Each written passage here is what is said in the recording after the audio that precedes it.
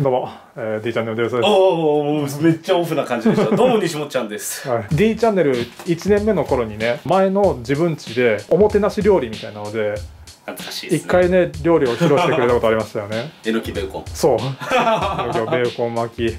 今回はその9年越しかな。ぐらいに。経ちましたね。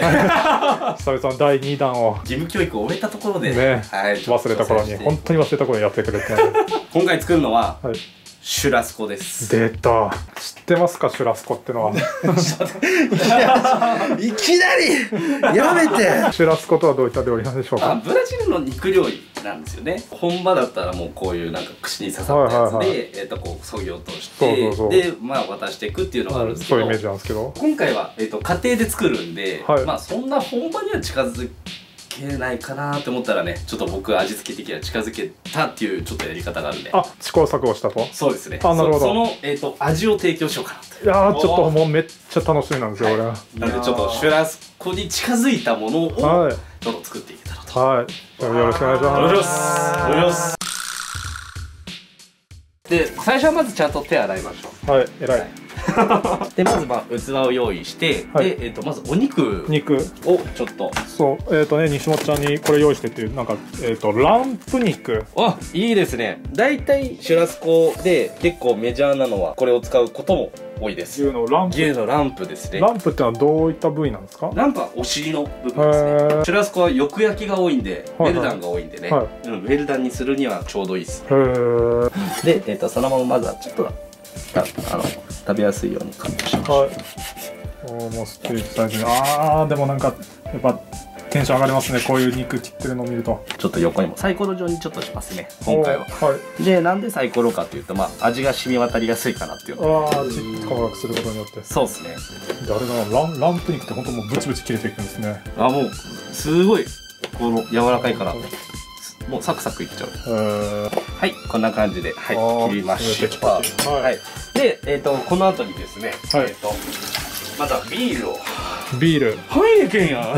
地地元っぽい感じにしようかなってんでこれどうやって開ける？ねあのね何のために？出た！危ないって！よかった。いった！喉越しがすげえ。はい。肉につけちゃった。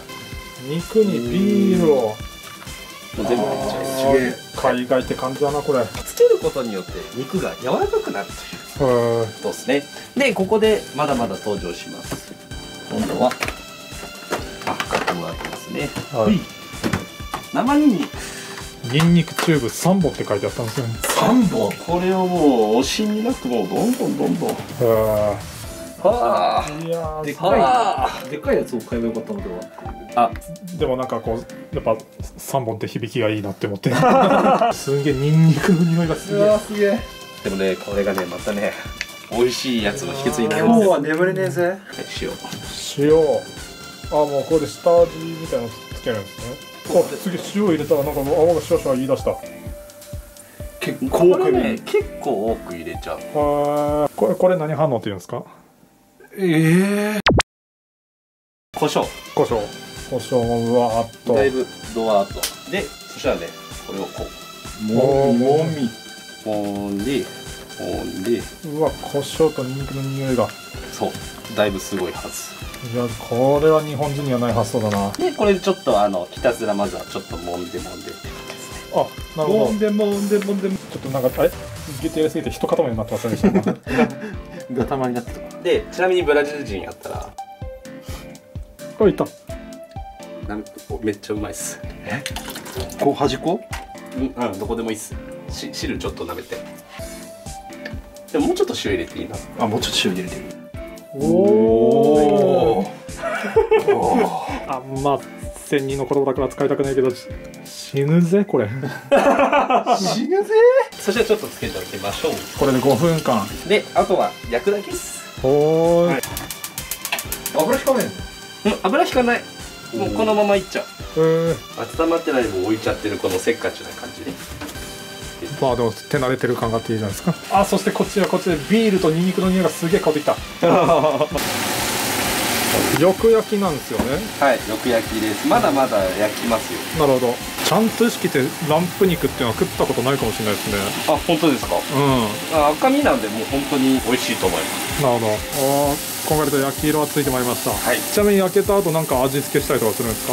うんするんですけど、まあ、今回はシンプルにこのままもう味付けなしで、なるほど。いいはい、もう食べてもらう感じですね。ですね。よし。さあ仲良く焼き上がったっぽいです。もうまあまあ形状的にしかないけど、まあ、サイコロステーキっぽいじゃサイコロステーキっぽい。でそうですね。すね。じゃああとはこれをいっぱい繰り返して。はい。焼きます。こちらが西本ちゃんのシュラスコでございます。いいですねこの豪快な感じが、さあ西本ちゃんの魂のテイスティング。おおいいと。これ。マジっすか？これこれ。ちょっとじゃあ我々も食べてみますかまい出たよかった。あ確かに手に持っただけでも柔らかい。あじゃあ。おうまい。よかった。ランランラムランプとかさ、はい。すごいなんか生臭いイメージとかなんかすごい獣臭いイメージがする。あそうですそうです。ふわっとビールの香りしますね。うまい。でもそれがなんか悪い感じにいかない感じでです。こんなよく焼きだけど全然柔らかいですねえこれはね本当誰でも真似できると思いますんでぜひとも皆さんやってみてください。シュラスコでした。シュラスコ撮影終わっちゃった。